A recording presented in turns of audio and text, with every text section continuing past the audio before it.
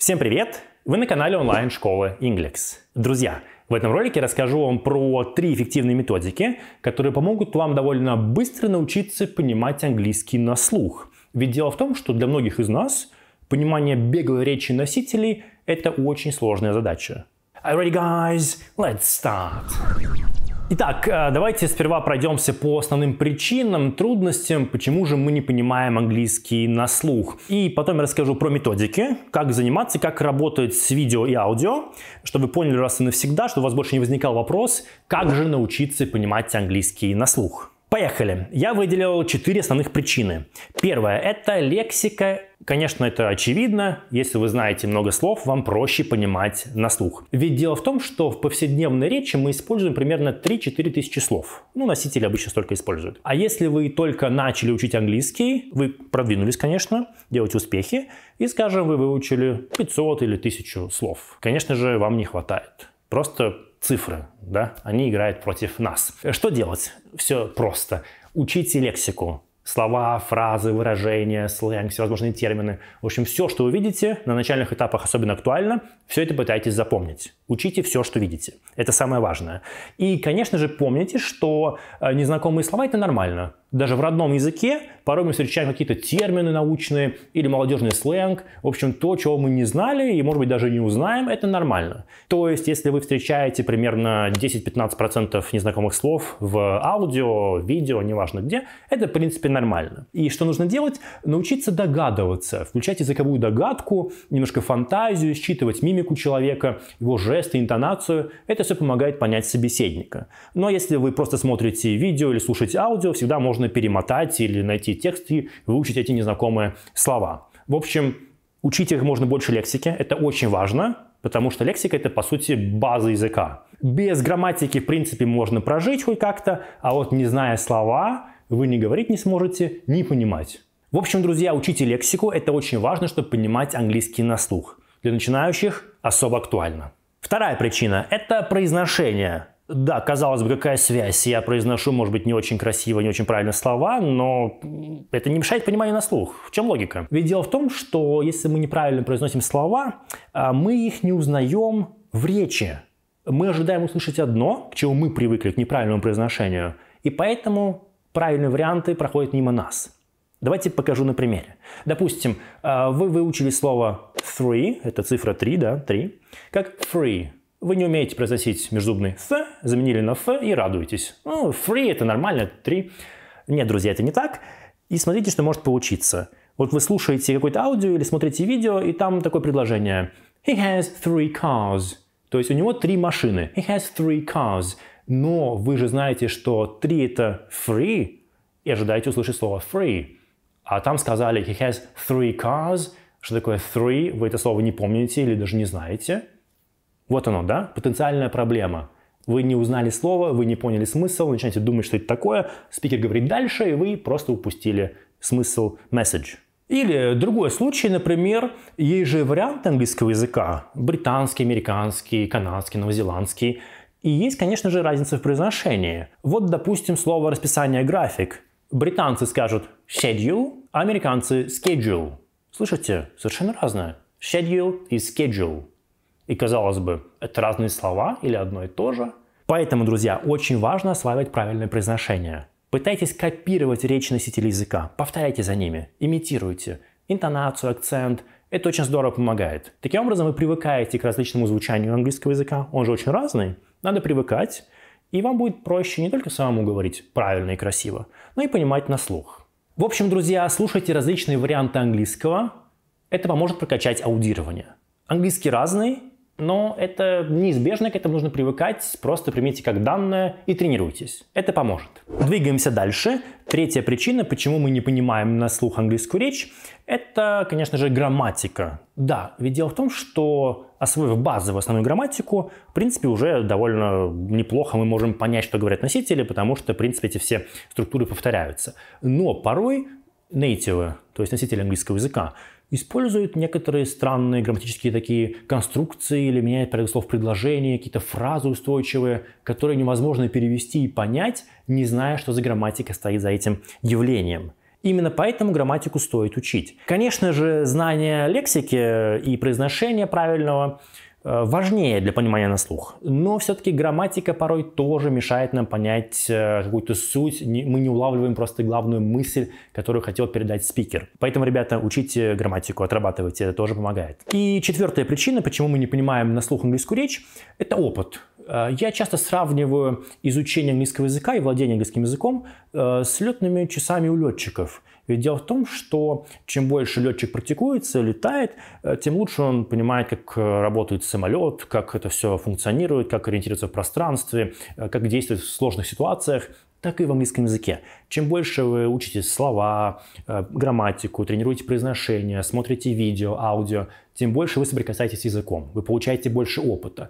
Вы начинаете догадываться, что там за конструкция по грамматике, как она вообще работает, э, что за фраза это прозвучала, как сокращаются те или иные устойчивые выражения. В общем, вы просто накапливаете опыт, и вам проще, легче разговаривать и понимать английский язык. Это очень важно. Опыт – это наше все. Чем больше вы учитесь, занимаетесь, тем лучше у вас получается. Поэтому, что касается понимания на слух английской речи, как можно больше слушайте. Но недостаточно просто слушать. Включили запись и все? Нет, так это не работает. А нужно заниматься по методике, чтобы был прогресс. Конечно, без методик прогресс тоже есть, но он крайне медленный. Вам этого будет недостаточно. Надо заниматься правильно. Сейчас расскажу, как именно. Ребята, и пока мы не перешли к самим методам, расскажу про один нюанс. А, если его не знать и не учитывать в занятиях, то можно потратить многие месяцы, если даже не годы, впустую. А, я говорю про правильный выбор материала потому что это, по сути, 90% успеха. Если вы занимаетесь по неподходящему материалу, ничего не получится.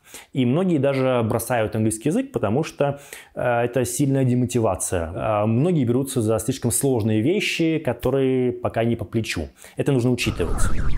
Друзья, если вы устали учить английский без результатов, то у нас есть решение. Новый курс от методистов Inglex «Английский 360».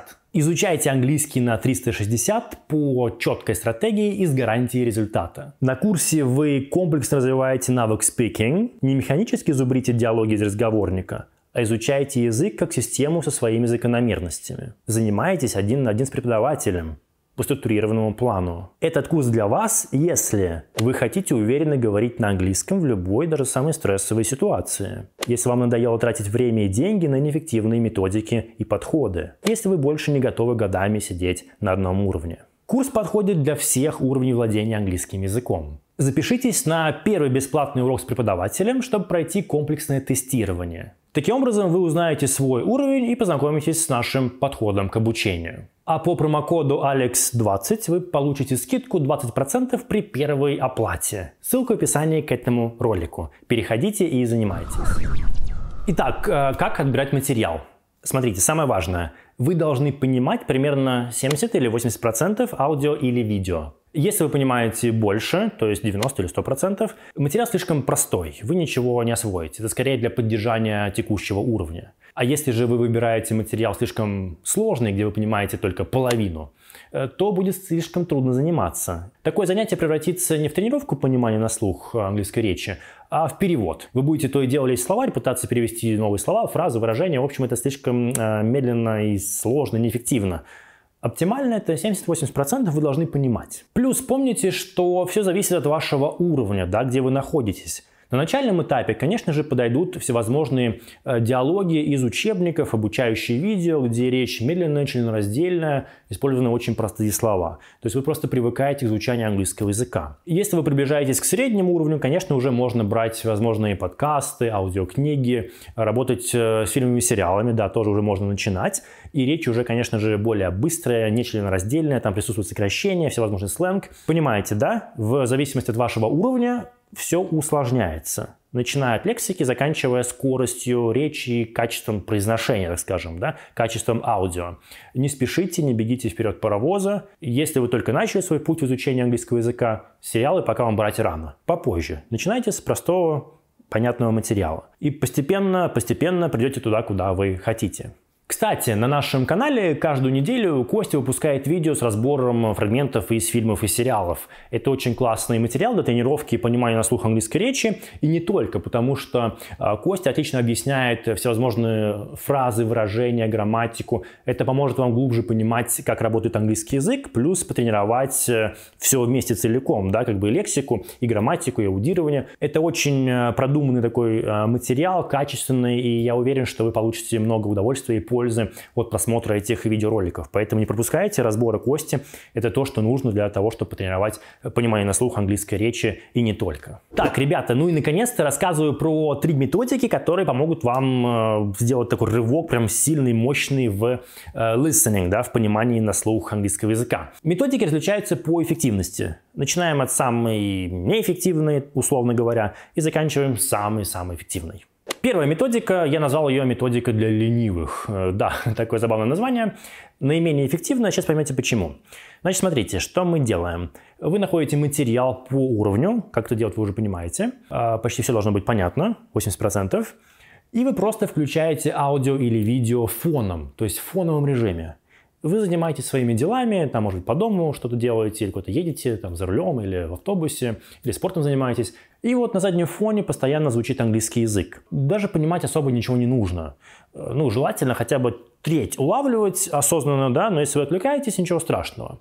Э, значит, в чем суть этого метода? Э, мы просто, по сути, привыкаем к мелодике английского языка, к его звучанию, к произношению, к разным акцентам. Мы просто, по сути, готовим себя к следующему этапу, когда вы будете уже вдумчиво вслушиваться в всякие аудиоматериалы. То есть мы просто привыкаем. Понимать все не нужно, отвлеклись, ничего страшного, потом еще раз фокусируйтесь на аудио, просто потихонечку-потихонечку слушайте. Это очень классно. Для начала это очень здорово. Или, скажем, вы устали на работе, ничего не хочется, просто включите, пусть там какой-то сериал играет, или песни, или подкаст, э, неважно, все подходит. В общем, методика для ленивых, делать особо ничего не нужно, просто в фоновом режиме вы слушаете английский язык. И если вы думаете, что восприятие английского на слух не тренируется, вы ошибаетесь, потихонечку тренируется. Не очень быстро, но потихонечку все равно а, прогресс идет. Вторая методика, я ее назвал «приятное с полезным». Потому что мы занимаемся как будто бы по первой, но более вдумчиво, более осознанно. Значит, смотрите, опять же, вы находите материал по уровню, и не только аудио-видео, а еще и текст допустим, песня со словами, или подкаст с текстом, или фильм с субтитрами, или сериал, неважно что. И вы одновременно включаете видео или аудио и смотрите в текст. Плюс этого метода заключается в том, что вы сразу же понимаете, скажем, правильное произношение, да, вы видите текст и слушаете аудио, вы понимаете, как звучит слово, а плюс улавливаете всевозможные фразы, выражения, знаете, что там за смысл, потому что порой на слух вы не уловили, а вот если вы читаете, конечно же, вы все понимаете. То есть это более такой вдумчивый э, и более классический, что ли, метод для изучения английского, потому что есть и текст, и аудио, вы прям занимаетесь. И, конечно же, вы сразу можете разбирать, э, переводить слова, грамматику, то есть это полноценное занятие. И еще одно преимущество, вы занимаетесь по материалу, который вам нравится. Это может быть ваш любимый сериал, или песня, вы ее разбираете, да, слушаете одновременно с текстом, смотрите в текст и слушаете, или подкаст, или аудиокнига. То есть это как раз приятное с полезным получаете положительные эмоции от занятий, плюс это еще и полезно для вашего аудирования вообще английского в целом. Так, ребята, и последняя, третья методика, самая эффективная для тех, кто хочет самых быстрых результатов. Ну и, конечно, заниматься нужно тоже более серьезно, более вдумчиво и тратить много усилий. Рассказываю. Значит, находите материал по уровню, выбираете фрагмент, скажем, видео или аудио, буквально на 30 секунд или на минуту. Работаем с фрагментом. Без субтитров, без текста. Слушайте фрагмент несколько раз, два-три раза. Пытайтесь понять общий смысл.